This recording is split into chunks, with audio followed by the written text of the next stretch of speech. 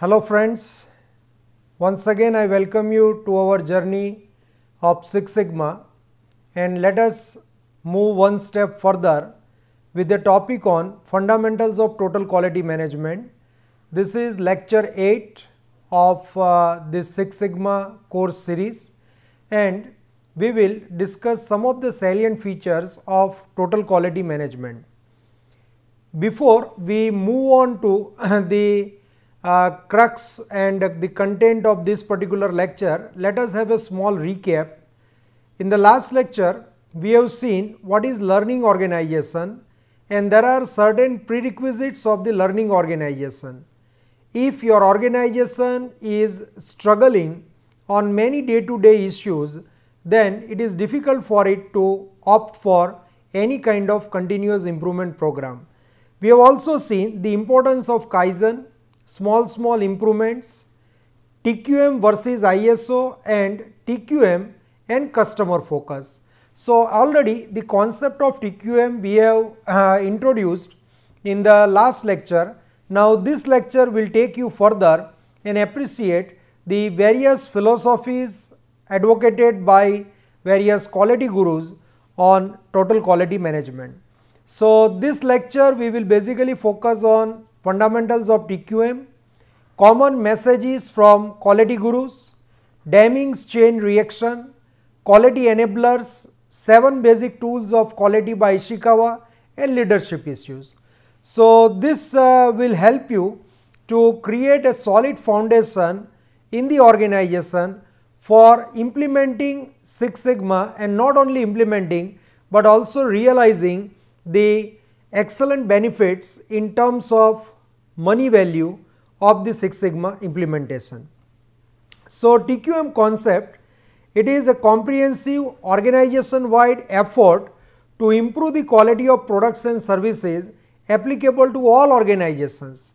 So, here I would make a point that TQM is not specific to only manufacturing or service organization, it can be applied to all sorts of organizations, manufacturing, service, large scale, small scale, medium scale, all sorts of product variety and these concepts are effective in bringing the right spirit and culture for quality in the organization.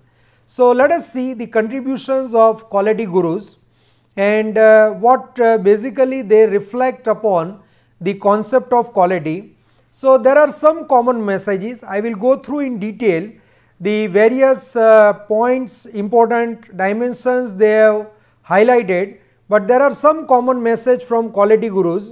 Number one there are no shortcuts to quality, prescribed procedure to be followed. So, you must believe in your SOP, you must believe in your quality document, vision, mission and the objectives and you cannot just adopt a shortcut to realize the sustainable quality in your organization. No quick fixes. It takes time to establish quality.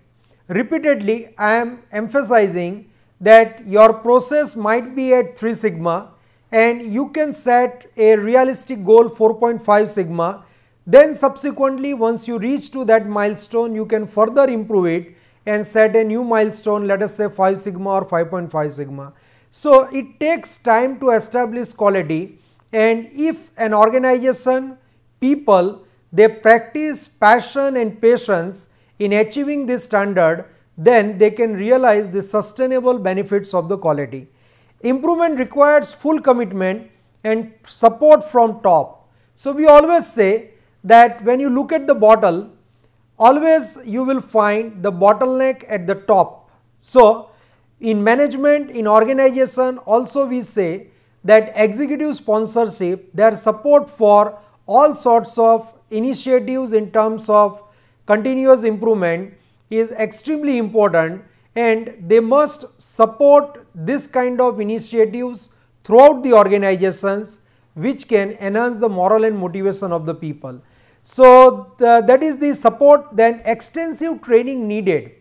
You cannot escape from the training requirement. People they need to imbibe the different competencies, different skills at different point in time and organization must have a charter to build the gradual competence of the people depending upon the various processes and the challenges organization is facing. And finally, participation of all employee is must. So, quality is not only the responsibility of quality department or few people, we have to have the commitment of all the people.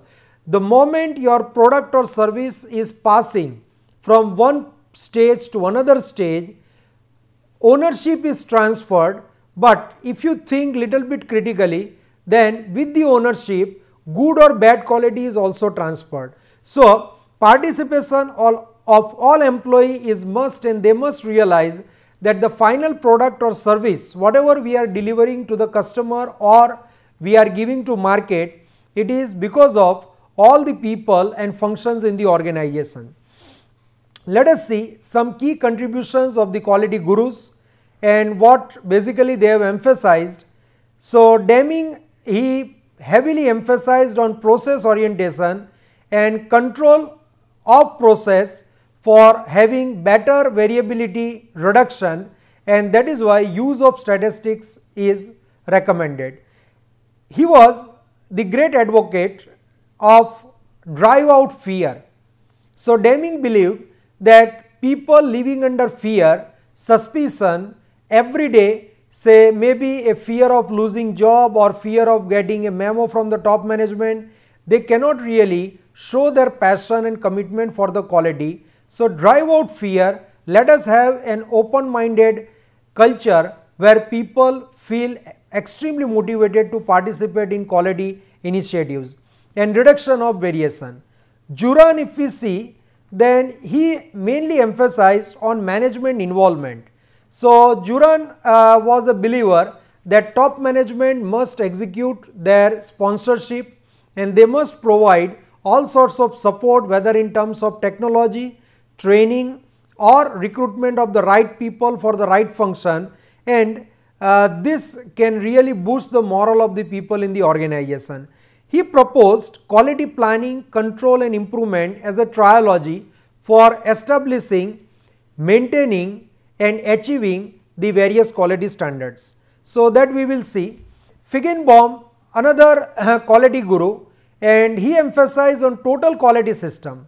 So, he used to say that whether it is maintenance, production, sales, marketing, this function should be seen as a system in totality and then you can really say achieve the desired quality standard and the customer satisfaction. Design quality in, so quality is uh, to be designed right at the concept stage as we have seen in the last lecture uh, say subsequently as you move farther and farther from your concept stage cost of building quality increases and then there is a customer orientation which is a common part in all the TQM philosophy. Ishikawa has again emphasized the use of statistics, quality circle.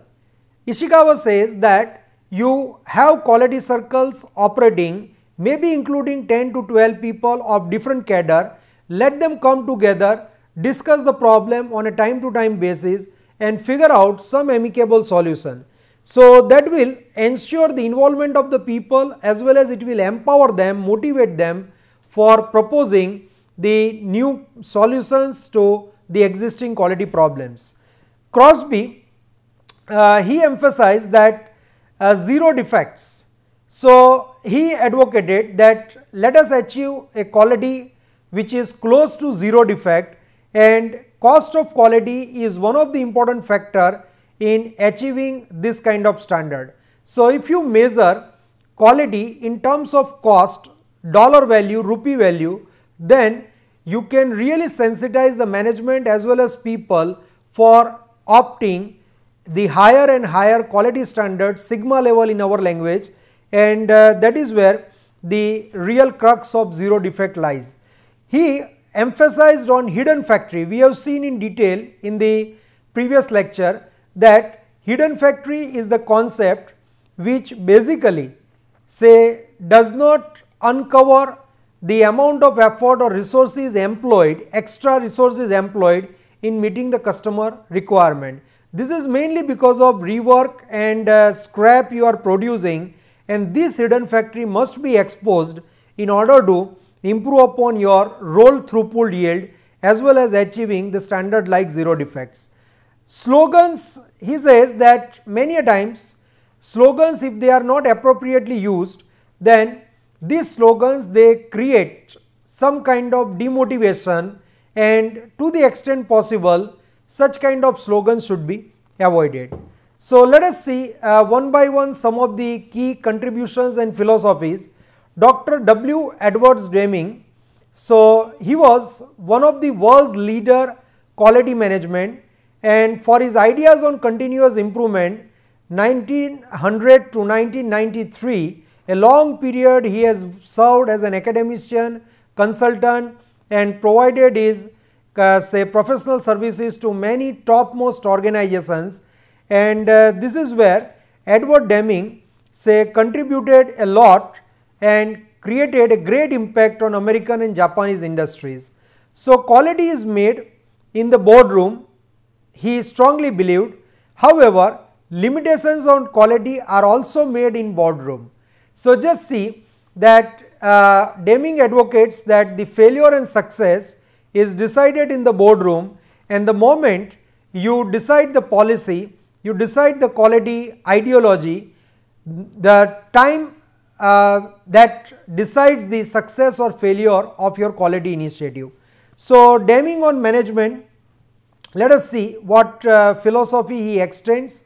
I would just like to say that majority of the quality gurus their principles are quite generic and many a times they are appreciated as general management principles, but when they applied for the quality improvement then the drastic improvement and results are realized by various organizations.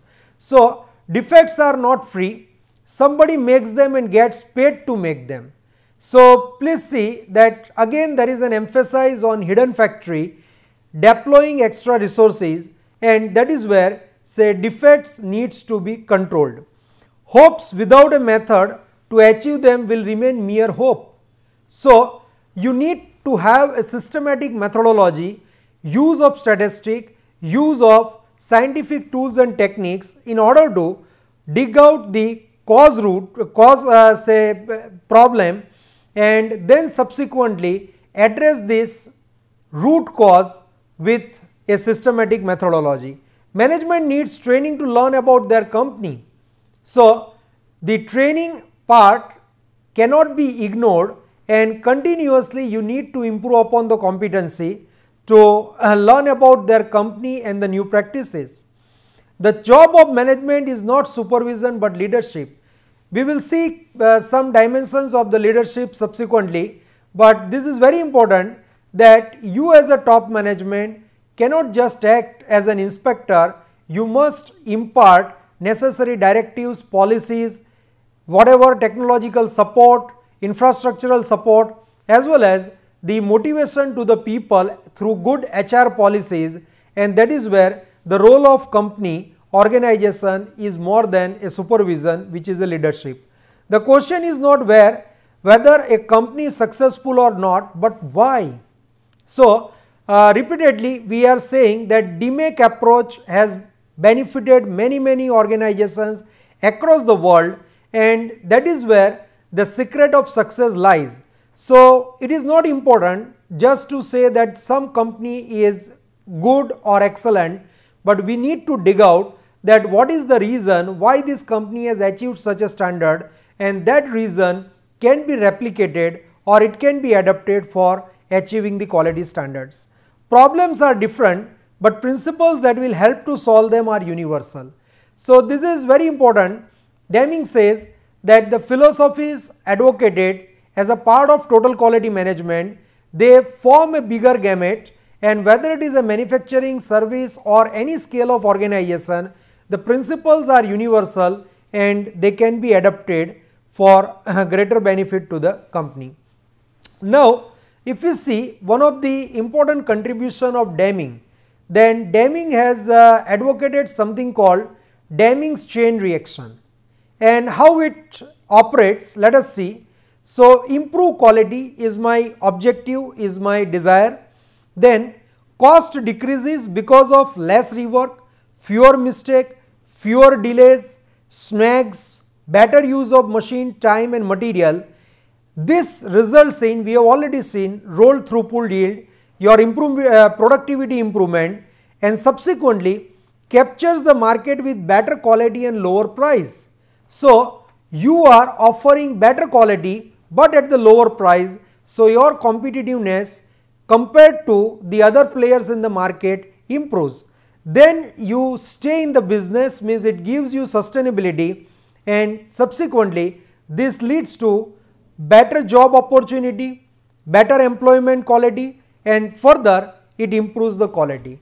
So, if you see the spiral then this spiral keeps on repeating and the organization which believes in such say amplifying uh, getting amplifying advantage cycle then they will always move from one sigma level to higher sigma level it means they will always show their passion spirit and motivation for achieving better and better quality standards so Deming has basically advocated 14 points in order to create the quality culture in the organization and hence to see the success of continuous improvement initiatives such as Six Sigma. So, we will see couple of points.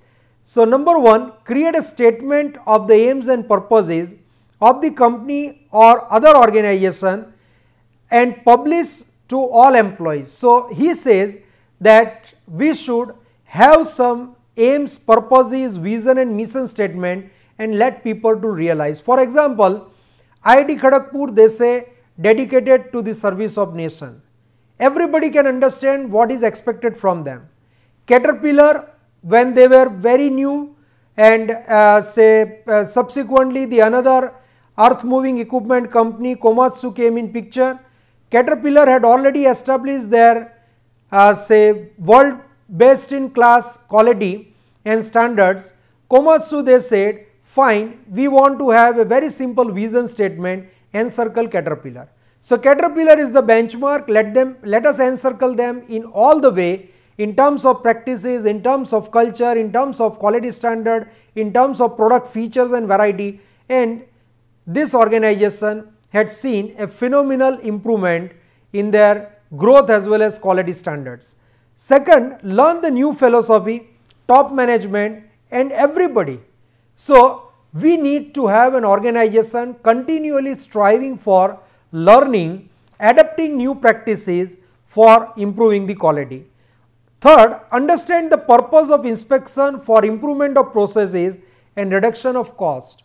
So, inspection is totally a wasteful activity but we must appreciate the necessary adequate inspection just to see that we can reduce the cost by reducing the defect and the practice of awarding business on the basis of price tag only.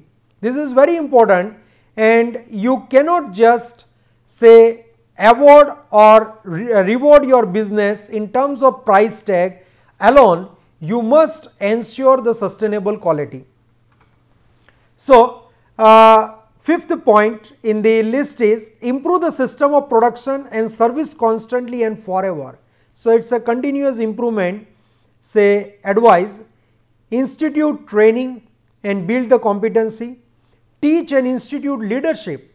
So, Deming says that let the leadership be realized at all the points in the organization.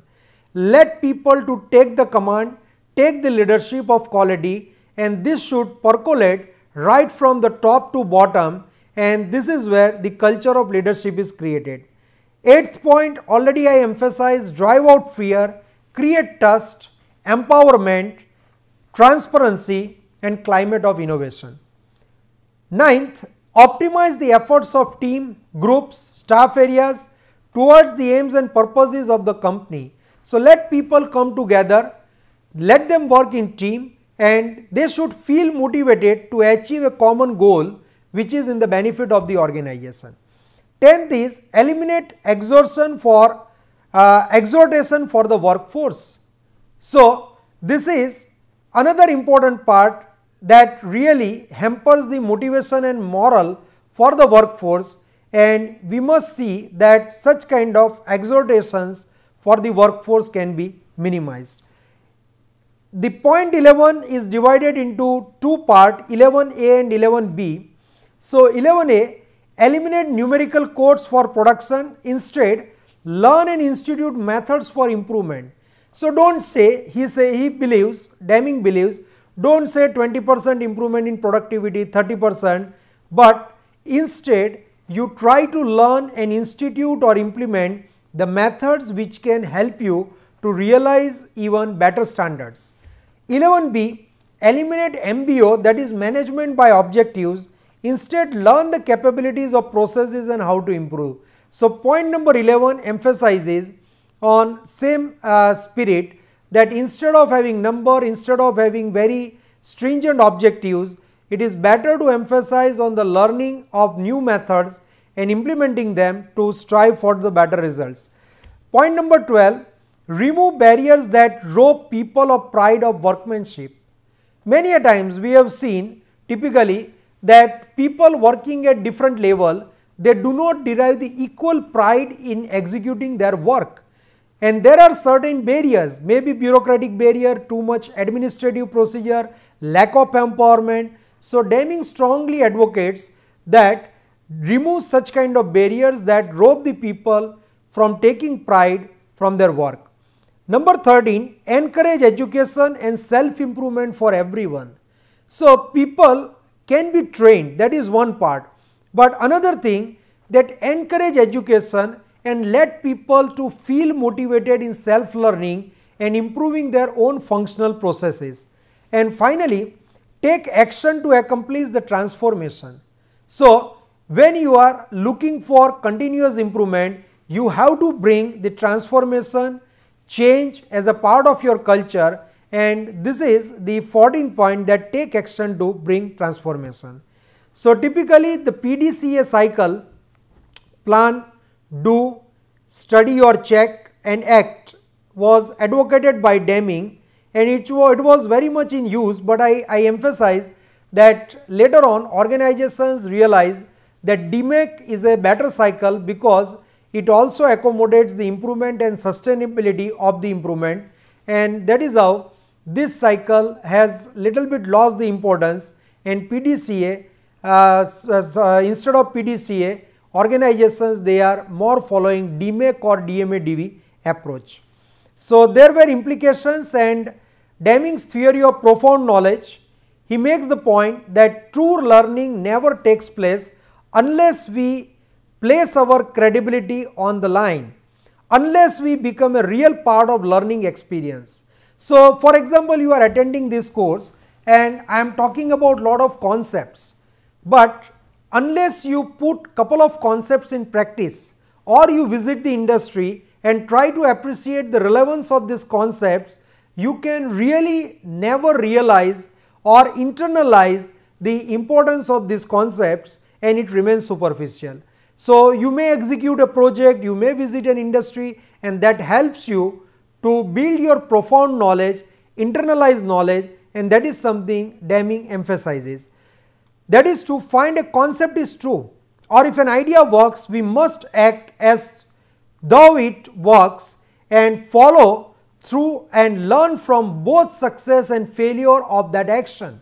So, this is where the theory of profound knowledge, internalization of knowledge comes in picture. If we see the contribution of another great quality guru, he is Joseph Juran and typically he proposed quality triology, quality planning, quality control and quality improvement. So, briefly if we see the three phases quality planning, quality control and quality improvement, then as a part of quality planning, he advocates that sets the quality goal, let you have the quality policy. Customer requirements must be identified and analyzed and must be translated into our language. So, customer has their own language, we follow some language that is more technical in nature and you need to develop the products for these needs only. So, You cannot develop a product and force the customer that fine I have built an excellent product and you must accept it. We must try to say get the voice of the customer in their language and convert it into our language and then you optimize the product features for these needs. Quality control, prove the process uh, can produce under operating condition, transfer process to operation and this is where you establish the stringent control over variability and finally quality improvement seek to optimize the process via tool of diagnosis. So, it is not important that you control the process, we will see a couple of tools and techniques later on, but you also need to optimize the parameters of your process and see that quality improvement really takes place at its best. So, three errors basically Joseph Juran advocated that inadvertent error in achieving the quality. So, this is unintentional.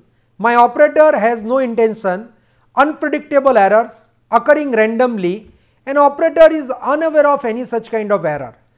Technique error, here lack of knowledge of an essential new technique, unintentional, specific and unique to certain defect types, unavoidable and consistent.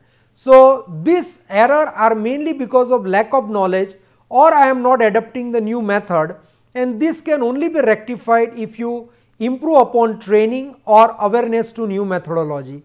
Third error which is dangerous which is willful error. So, in first two cases operator is unintentional, person is unintentional. In the third one he makes the error willfully and this is intentionally and it is persistently. So, now there are some remedies to counter the willful error. Number one is depersonalize the order. So, one should not give orders to another, both should take the orders from the situation. So, there is a demand and let me follow in a team this particular situation and the solution and let the order giving process be stopped. Reassign the work. So, separate critical work from the rest so that selective assignment becomes feasible. So, many times people they feel more uh, say difficult to handle so, you can separate out and then people can say handle a particular component well. Establish accountability and traceability. So, let people not just pass their inefficiency to the next stage, let them be feel more confident in taking up the accountability and traceability. Conduct periodic quality audits to sensitize the people, quality uh, communication to improve the quality and motivate the people so that they can always aspire for achieving better standard in their process or function. Then Kaoru Ishikawa and his philosophy. So, he has many contributions to quality and the most noteworthy being his total quality viewpoint. So, company wide quality control basically emphasizes on human side of quality and he proposed Ishikawa diagram and the assembly and the use of 7 basic tools for quality improvement. So, briefly let us see later on we will see with the example also. So, Pareto analysis what are the big problems how can we separate them out cause and effect diagram. So, what is the real root cause of the problem stratification how is the data made up. So, what is the overall variability and what is the overall composition of my data. So, that is stratification check sheets how often it occurs or it is done.